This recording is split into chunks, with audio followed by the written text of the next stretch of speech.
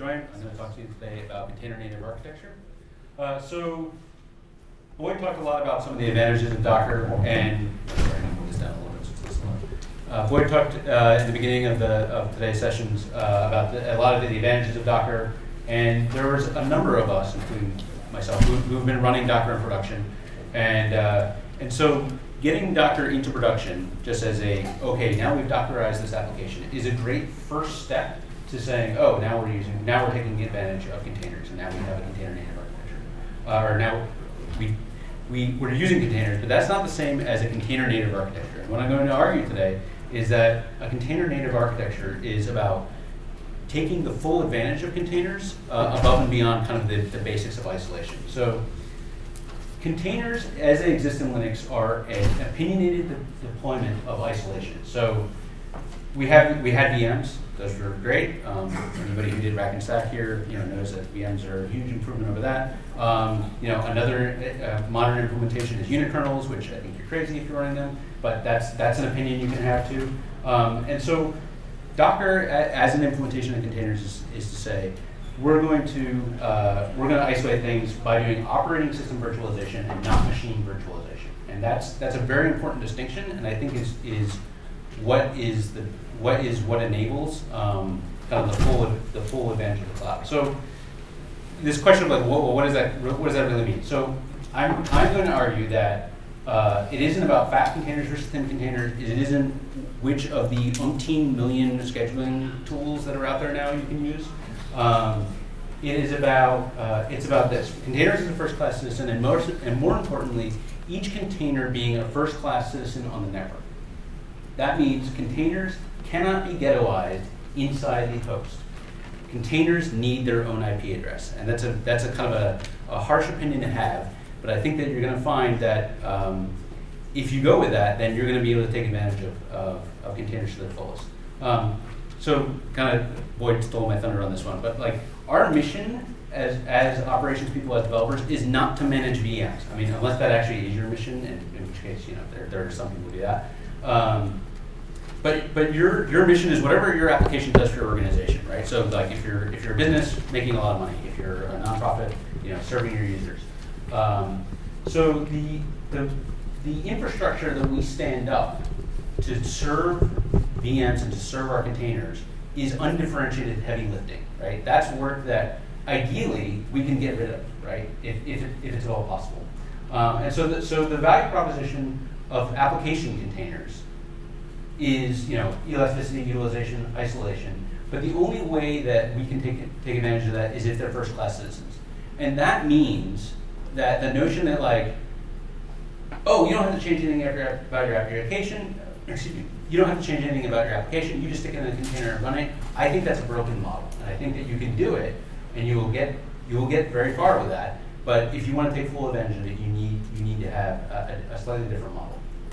Um, so I want to tell you a story. So right now I'm uh, I'm the product manager at uh, at Joyent. Uh, we make the Triton Elastic Container Service, uh, where you can run uh, containers securely on bare metal in the public cloud. Uh, we use that with LX brand zones. So we're actually running an open Solaris derivative called SmartOS.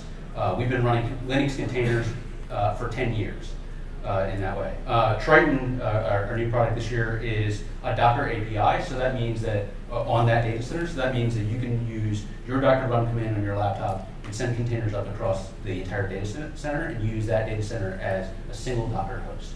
Um, or use your data center as a single Docker host because this is all open source and you can run it on-prem. Uh, but I've only been at Joyent for a couple months. And before that, I was at with this company uh, which is up the street here, uh, Drama Fever. I was the director of DevOps, uh, which is a ridiculous title. Um, so what we did there is we we streamed foreign dramas, uh, foreign dramas and rom-coms, uh, so K-dramas, telenovelas, uh, British British dramas, some movies. we also ran a site for, or we also run, I should, should say, a site for Sundance called Doc Club, which is documentaries. Um, this site that they launched this last summer called Shudder. this is for AMC. Um, this is really scary. This is not for kids. Um, we were deployed entirely on AWS. Uh, our main application was a big, giant Django mon Python monolith. Uh, we started adding Go micro a lot of Go microservices uh, over the last couple years. Um, kind of the, the- a lot of the typical AWS deployment stuff here. So auto scaling, uh, we had because we're, we're an entertainment entertainment company, and people, you know, there is such a thing as primetime TV on the web. Uh, we did have swings of load about 10 to 20 times over the course of the day. Um, so, uh, and we were running around about 100,000 re- requests a second at our peak load. So, you know, not Facebook size, but not like, you know, mom and pop's web store either. Uh, and we've been running, we were running Docker in production since October 2013. And I'm sure there are some of you who are saying, I'm going to leave and go to the other talk now because this person is crazy. Um, but this was actually solving a very serious problem that we had. Um, this was a big part of it, right? So it works on my machine. Uh, we had a major problem with the divergence between the local development environment and, and uh, what was going on, on in production. Um, we had slow, non-atomic deploys. I'm going to be ashamed to say that when I started at Drama Fever, our deployment mechanism was effectively SSH in a for loop with a git pull in there. Um, don't do that, by the way. Um, you, you can wrap it in Fabric, which is the Python tool to do that, and then it looks like you're doing DevOps, but still SSH in a for loop. Dependency isolation uh, was a major problem. Um, we were Python shop, but if you if you run Ruby or Node or PHP, you have a very similar problem. Uh, you know, so there's this idea of virtual env in Python where you say, okay, well, we're going to package this application up and it's going to be this isolated environment, but it doesn't isolate your shared C library very well. Um, and that those C libraries will diverge between uh, the you know the OS X machine that your developer is using and your Linux uh, machine that, that you might be using in production. Uh, of course, you can use Vagrant. You should be if you if you have this environment.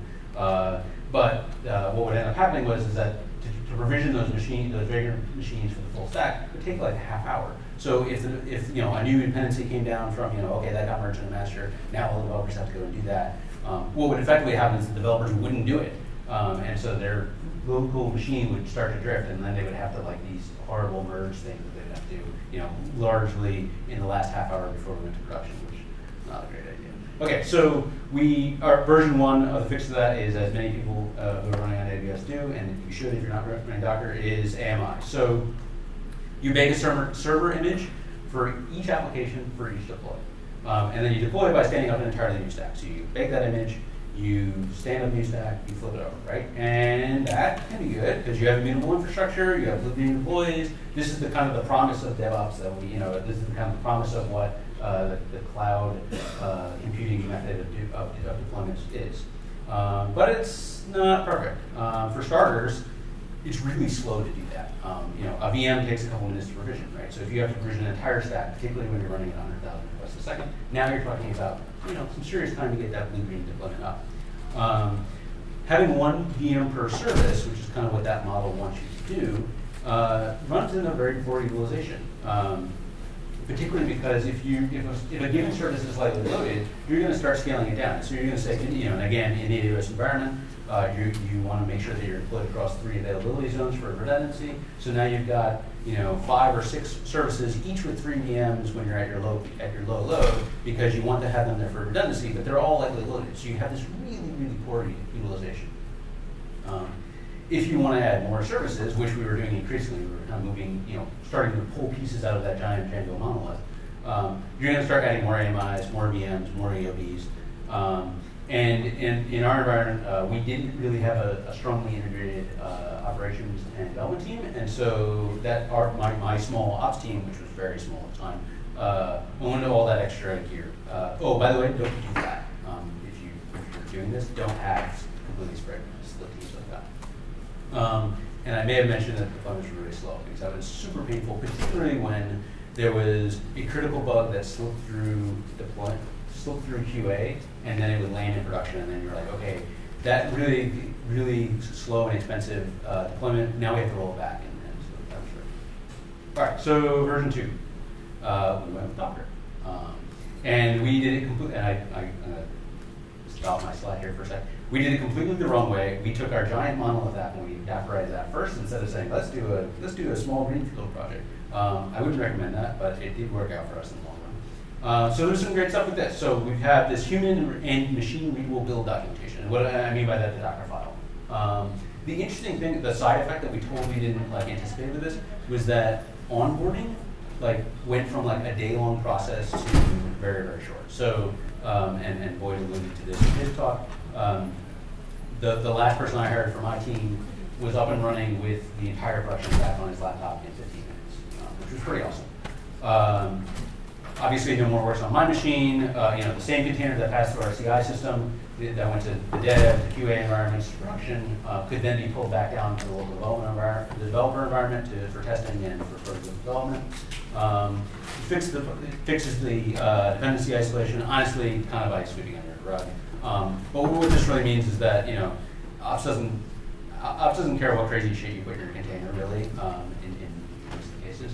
Um, and I, am a big fan of the interface uh, metaphor, by the way. Uh, so it created an interface-based model to development, which, which means that the operations team could say to the developers, look, here's the minimum interface you need for your application to work. And that is, you know, if you log like this, if you expose a health check that looks something like this, if you're stateless in this way, you're good to go. You can put whatever you want in your application. Okay, so, oh, and the plugins are much faster, which solved the, oh my god, it was so slow, um, which was great. Okay, so of course, uh, I, now normally there would be a obligatory container disaster slide here, but I decided to, you know, lie that because I didn't see it much. All right, so this is the this is kind of like what the the typical uh, topology you see of these kind of the, this, this, these microservice applications built with this uh, with this model, right? So you have um, the uh, scaling the, the VMs, each with an application container. Uh, they'll of course dynamically scale based on auto scaling. Uh, and then you have an app load balancer in front of them. And so in, in, the, in the Amazon world, that's going to be ELB. Um, and the ELB is going to make health checks, and it's going to remove nodes as they become unhealthy, or, or add them as they become right? That's simple.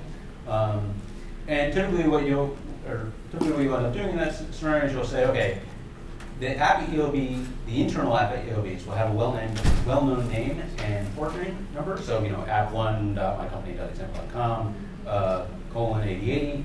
Um, and you'll route traffic uh, towards that app by changing, or you'll route traffic to that app by going to that domain name. If you want to route traffic away from the app, you change the you change the DNS record so that it goes to the ELB, and now you have a way of, of doing blue green deploys.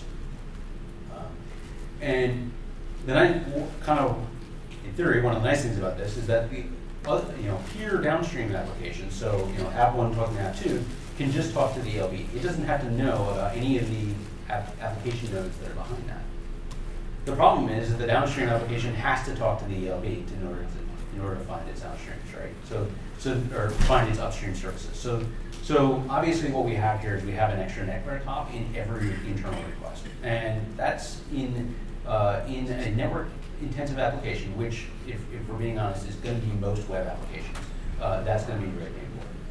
Um, one of the other problems with this, this kind of, and I'm going to call this an anti-pattern, even though I, I, I designed and deployed this. I'm going to call it an anti-pattern now, having run through production.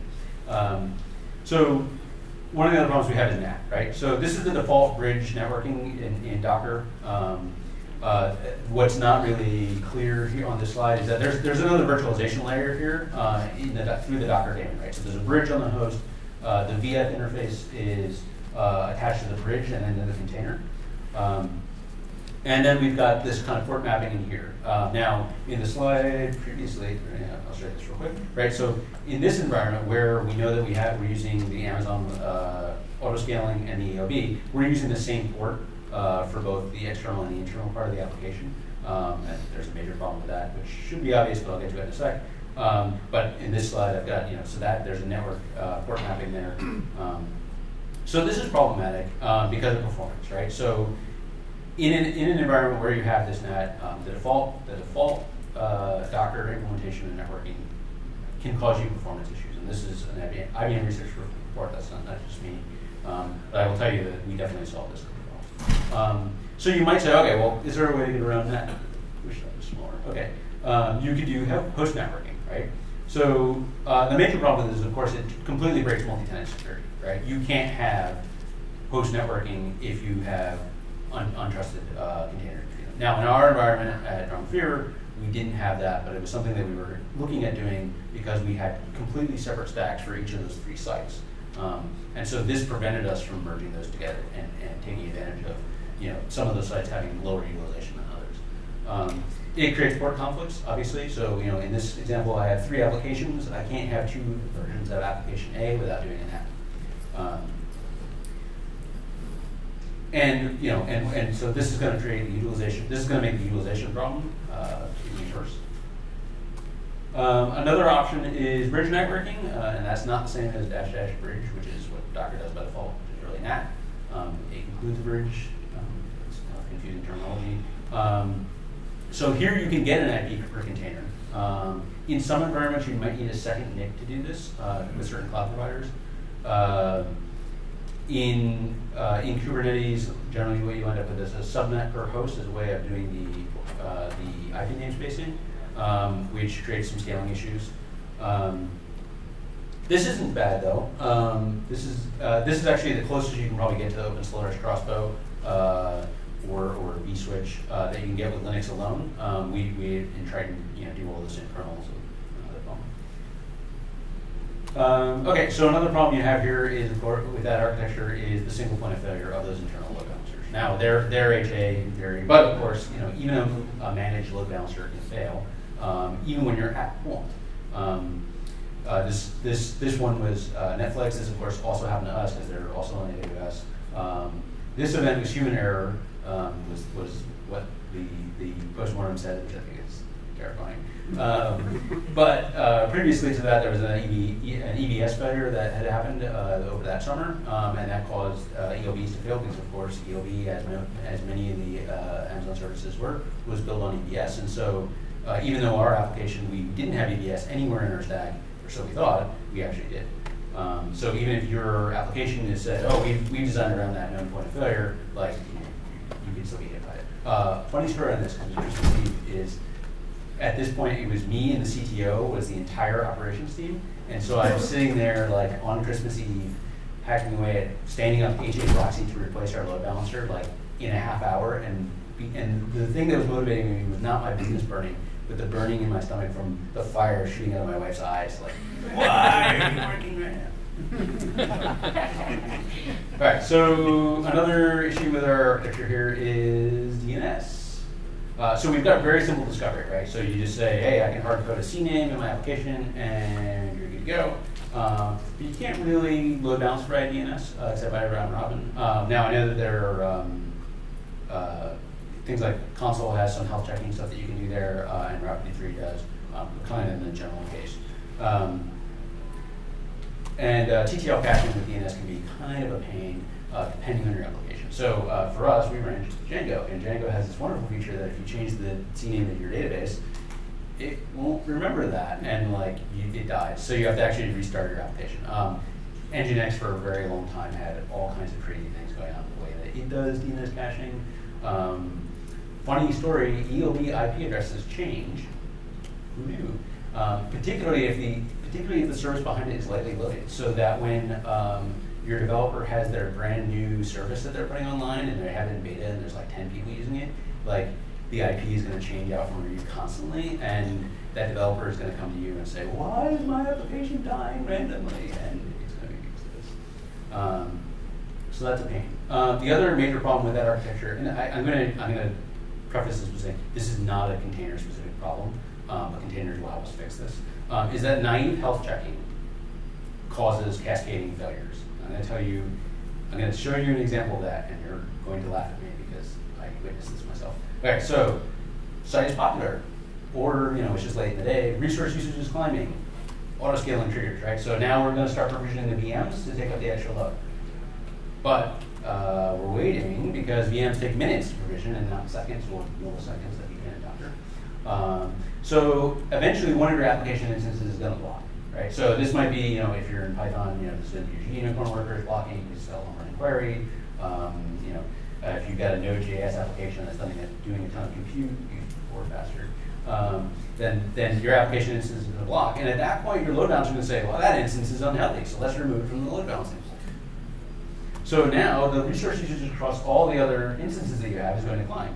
And we're still waiting for those VMs to provision because this kind of failure happens in seconds and not minutes. Um, so that means that more application instances are going to block, uh, your load balancer starts removing more application instances.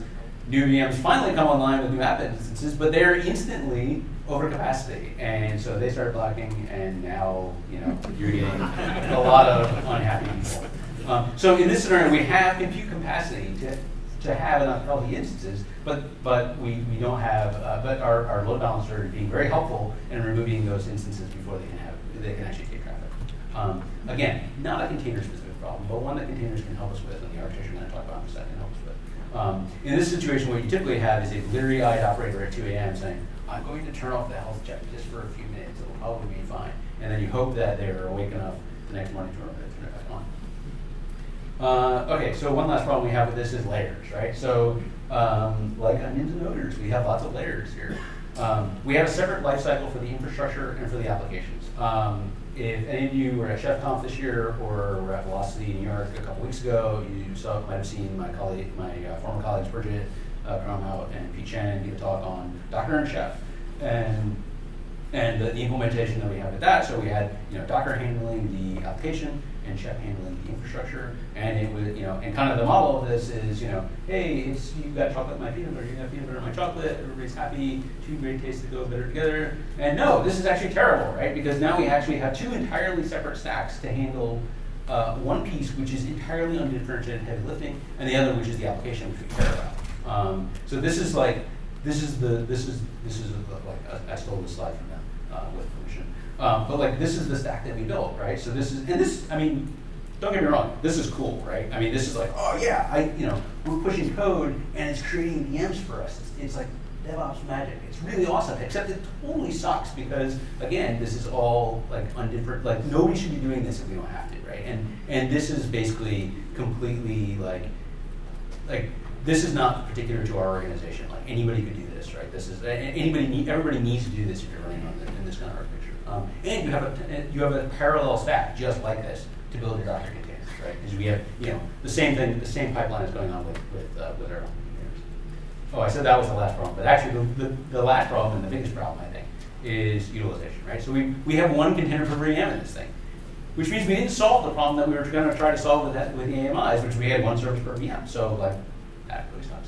So uh, now a way that you might try to work around this is say, well, we're going to have multiple multiple containers per, per host, of course, right? That's the obvious sort of thing. Um, the load balancing of that starts to become really complicated, though, right? So one of the ways, so you know, because you have questions like, well, do we remove, remove the entire node because one of the just one of its services dies? Uh, do we need an instance of every service on each VM?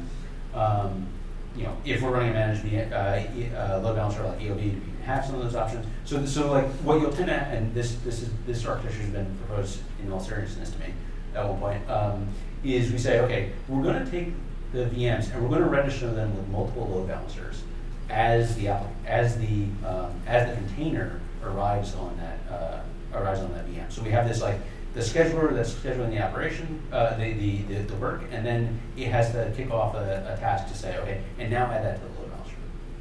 Um, we still can't, uh, by the way, have more than one copy of the application on, the, on, uh, on, on a given host without, uh, without NAT, and we can't find the work with NAT, so we, we still have the same kind of problems that we had before.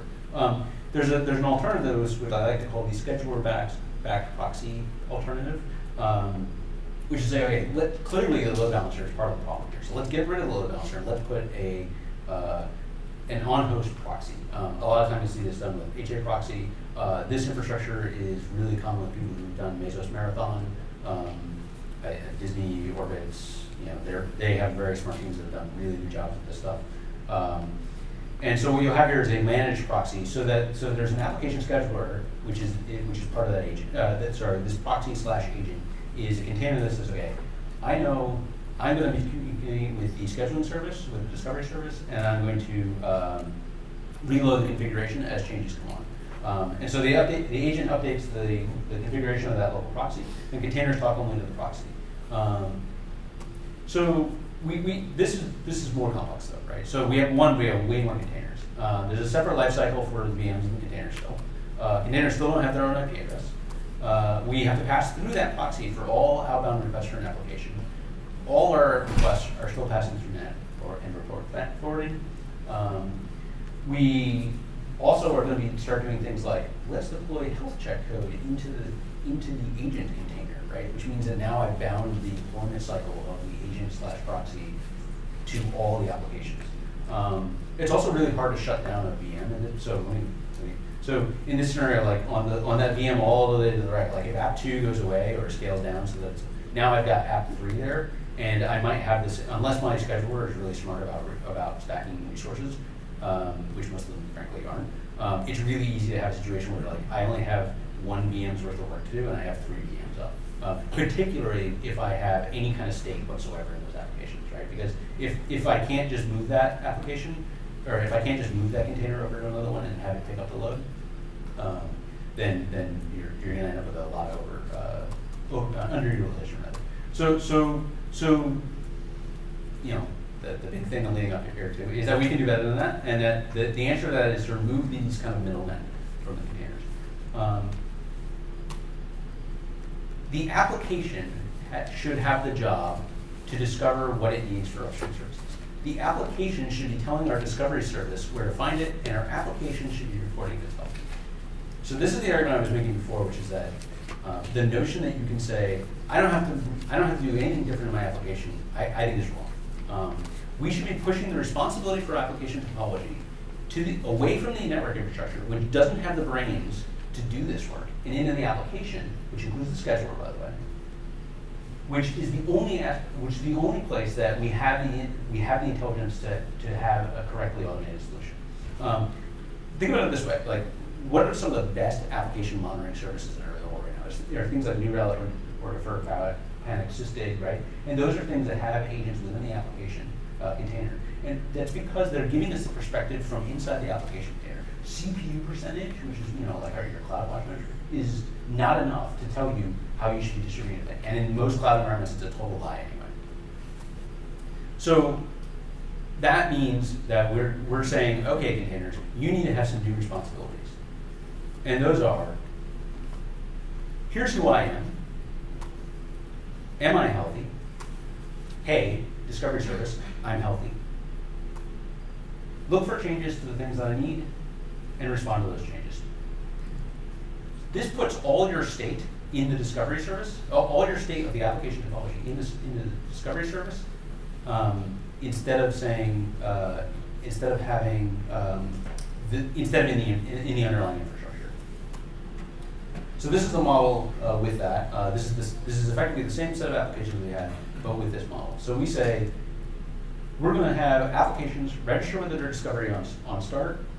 Uh, we're going to push TTL health checks, and th this is where this uh, question of dealing with the cascading failures happens. Uh, we're going to push TTL health checks to the discovery service. Applications will periodically query this, uh, the discovery service for upstream changes and then respond to them. Um, now, of course, that discovery service needs to be HA, of course. Uh, um, note that here, without these host local proxies and services, this frees us from the VM, right? We can deploy this on bare metal, or of course going to argue that's not obligated to do so. You should totally be doing it on Triton, so you your entire data center as one uh, Docker host. Um, the app containers are then physically located wherever your placement engine decides, and the scheduling of those of that work is entirely separate from placement. So the application gets to do its job, and the infrastructure gets to do its job. Um, one thing to note on this is that we really don't want to have sidecars in this environment. So the sidecar, a sidecar container has to reach into other containers, which completely breaks multi-tenant security, right? You can't have, you know, you can't have a model where you can do that safely. Um, and you now, and the other problem with sidecars is, of course, you've bound the deployment of your sidecar with the application. Right? Um, and by getting rid of sidecars, that allows us to have, to, to a degree, not not available in, in other models, application-aware health checks. So this means, like, I'm not going to say, oh, well, you know, because you can use, let's say, you know, Consul has health checks, right? Like, you can say, okay, it's going to make HTTP queries out to the thing. Or, and it can actually execute arbitrary, uh, arbitrary binaries to, to, to do whatever the health check is. But if, let, let's say I'm health checking MySQL. Do I want to package my MySQL client with every instance of my con of Consul just because I am running MySQL somewhere else. Like that's that's binding the, the, the deployments of these two things together in a way that's doesn't make any sense. Um, so we're not packaging tooling in the other service. Um, and this also allows us to respond very quickly to changes. Um, I'm, I'm going to demo something that is actually you know doing polling, but there's no reason that this couldn't be over you know a WebSockets connection or a HTTP long polling connection, so that changes are immediately propagated to any uh, to the any downstreams. Um, you know, a pub sub uh, sort of environment. All right, so I want to do a demo. Now, I'm not going to be crazy enough to do a live demo, so this is a virtualized demo. Um, but first, we have to talk about this. So, I'm saying to you, I'm saying, okay, well, we're going to, uh, or you know, we're, we're giving your containers new responsibilities, right? So we're saying you can't just do whatever you were doing before. Okay, well, nobody wants to rewrite our apps, right? There are lots of really great apps out there, um, and nobody's going to rewrite them because you'd be crazy to do that. Um, so we need to figure out a way to, to give these responsibilities to a to an app that was built before in the pre-container days. I'm not saying legacy because that's really to like these really awesome applications. You know, like Nginx is like my favorite web server. I would never call it a legacy application. That would be horrible, right? Um, okay, so let's look at those responsibilities one by one. Okay, so registration. We can totally do that. We just wrap the start of the app in a shell script. It'll register cool, self-inspection, maybe some kind of self-test if the application has that. Um, okay, so this is actually not going to be so easy to do uh, as is. So uh, now, you might say, well, what we need is a second process in the container, right? So you can't do that unless you have a supervisor. Um, and, and this is why. So, so I've seen this proposed. Okay, I've seen this seriously proposed. Um, okay, so you know we're saying okay, we're going to push uh, we're going to push the registration to the Consul. We're going to start a health check, something a health check name, and then we're going to background it, and then we're going to run our awesome app. Well, and anybody who's done even the tiniest bit of system here, this, well, what happens when check health awesome app.sh dies unexpectedly? Like you're no longer getting health checks, right? So don't don't do that. Um, so we've written this. Uh, now this is uh, the minimum thing that you could possibly do to solve some of these legacy app problems. Um, so really all this is is a shim. Um, it's to help make your existing apps container native. Uh, it's written in Go, uh, open source by us under Mozilla Public License. Um, it accesses PID1 within the container and then forks uh, to the app. Um, it blocks on the app. Uh, it blocks on that fork. So um, what that means is that if the uh, if the application dies, then it will uh, it will exit as well. Um, so for registration, it registers the Consul on startup. Um, I should point out, so it supports this Consul today. Um, it's totally extensible. It's just, you just have to swap that piece of code out.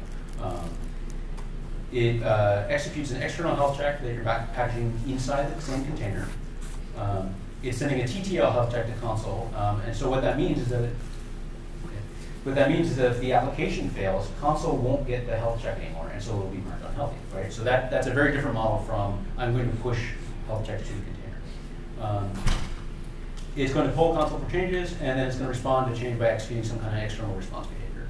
Um, and those two, and both the external health check and the ex external response behavior, those are both going to be things that you package inside the same container. So the container is completely self-contained in terms of its behavior. Um, this is not the same as a supervisor, right? So this is PID1, but the exit code of the shim process is returned back to the Docker engine, or in our case Triton, and then the thing dies, right? Which is what it should do. So that means that if you run docker ps-a on your dead container, like you will get the exit code of the application and not some weird stuff that code doing. This is this is literally like a couple hundred lines of code, by the way. It's, it's totally trivial thing to do. Um, this could completely be library code, by the way. This is not, you know. Um, this also means that uh, Docker logs will tell you, and the Docker log drivers will work correctly, um, because it's just attaching to standards. Um, and so here's our demo app, um, which I'm going to accelerate through a little bit here. Um, and so this is kind of the, very similar to the app that we had before. So we have uh, some app containers behind here. Uh, these are just like dumb node, uh, node applications that are just serving static files. Um, as they come online, they're going to say, here's my IP address. Uh, I'm healthy for the next 10 seconds to Consul. Uh, and then Nginx is going to say, hey, where, where is app one? And Consul is going to tell it, uh, here's, here's the list of IPs that are, for, are valid for app one, and then it's going to Nginx dash s reload, uh, which is one of the reasons why Nginx is awesome, by the way, um, is that, it, you know, much like HA proxy, uh, it, it knows that I have to be able to receive, receive signals to reload configuration without having to restart the whole damn application.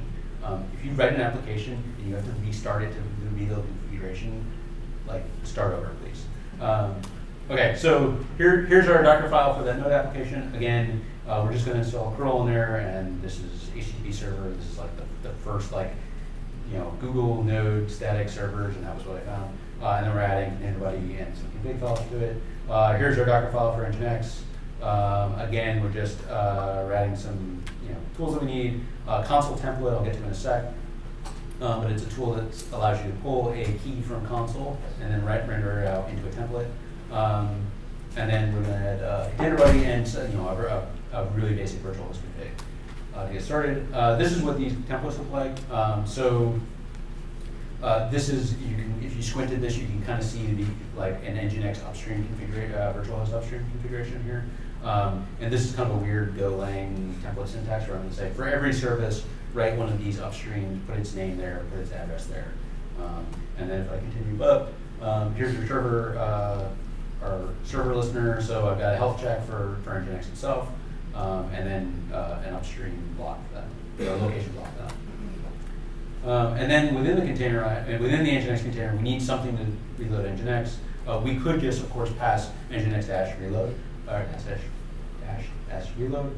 Um, but we're going to uh, include this here so that we can um, get the template from uh, uh, Consul. Um, if you don't need to write templates for your configuration, this is like a.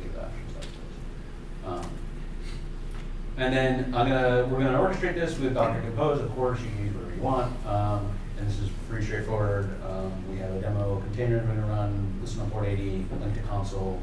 and then the command is just, did you know that there was a multi-line YAML? I, I didn't know that until I read um, so that's what that ugly thing is. Um, but so that's all we're going to do. We're just saying run Container Buddy with this application.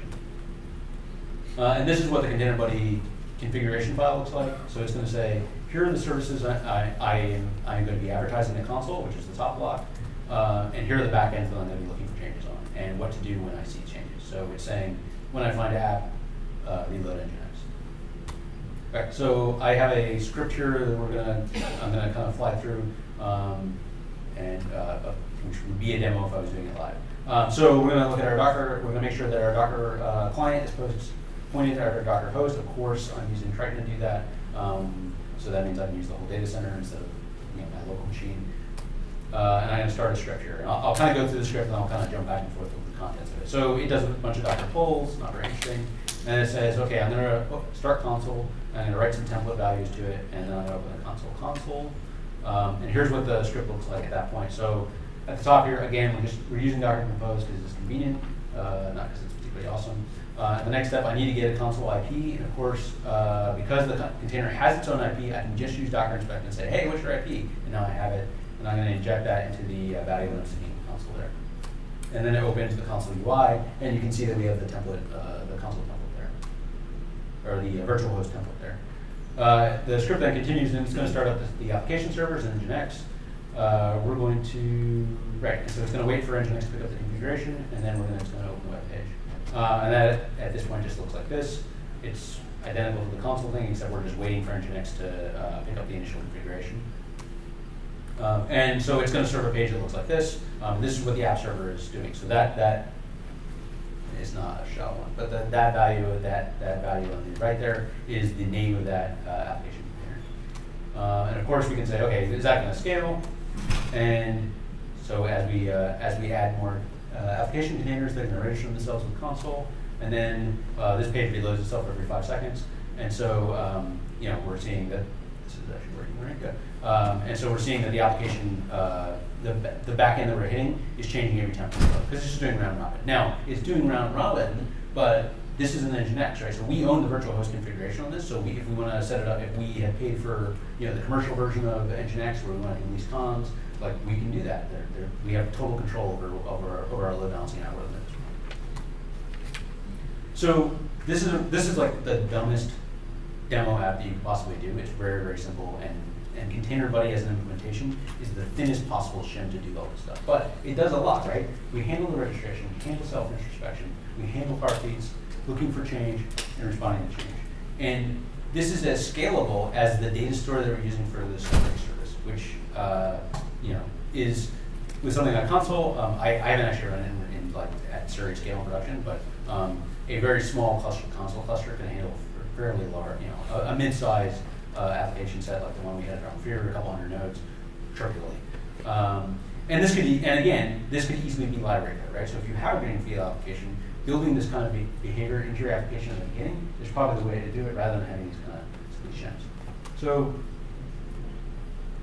this kind of, this is the kind of the, the old way model that we were talking about here. Um, and, and, and to say old way is, is kind of being silly, right? Because we're talking like, in the last couple years with containers, this is how we've been doing it. And I'm gonna argue that these things on the right are the container native way to do it. So that's gonna say that, um, container native isn't about what scheduling framework you're using. It's not about the size of the containers, you know, is it two hundred gig or is it, uh, you know, a ten meg? Um, it isn't about how many processes are in a container. It's not, it's, it is about containers being first class citizens, applications owning and responding to change. Um, it is about focusing on building your app and not on differentiated heavy, uh, heavy lifting of your infrastructure. Um, and I'm going to argue that deploying on secure multi-tenant bearer hardware is the best way to do that. Um, and of course, do it on track. This is, oh, well, my slides will be there, um, and, uh, we're also sponsoring, uh, lunch tomorrow, Joyent is also sponsoring lunch tomorrow, and there'll be some promo codes, uh, for anybody who wants to try it. I think I have a few minutes for questions. Oh, and I have one of these audio, I guess, I'm not even sure. Uh, so, you, so you mentioned that having the application report its own help prevents the, uh, the cascading failure problem. But if the, if the application isn't able to report its own health because it's heavily overloaded, can you still run Right, right, but in that scenario, what you end up with is the, the scheduler at that point actually knows that that's the failure mode that you have. And so because the applica, because your scheduler should be, you know, aware of the, the, those parameters of the application, that's, um, like, you can build that into it instead of it just coming to this dumb HTTP check. But, I mean, you still have to, you still have to design it, but you actually have the option to do so now. Yeah, I, I mean, it's, it's not a sol, it's not a sol, complete, it's not a solved problem, it gives you the opportunity to solve it. Right. Part of your list is the things that um, a container should do, and you mentioned the chocolate and peanut butter cup. Um, should a bill of providing a bill of materials be maybe added to the list so that we know what's in the container? Yeah, I mean, I think that like, that, that, this was really kind of more about the operational side. I mean, I think in terms of like the build side, and I, I think like Docker files is a good start for that. Um, and I think that, um, some of the things that we're seeing with, uh, sorry, I can't remember, Docker Notary, uh, in terms of like making sure that the provenance of the container is known, I, I think is really, um, is, is really important. Um, having, like, making the scheduler aware of that, um, I think is something that, um, I don't know that there's any good tooling around yet, but, there's, there's no shortage of new tooling on, on, on Docker, in case anybody hasn't noticed that, so.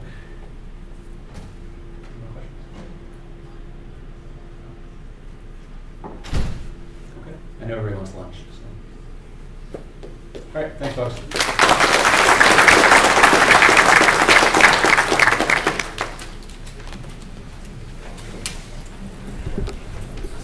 You don't get one.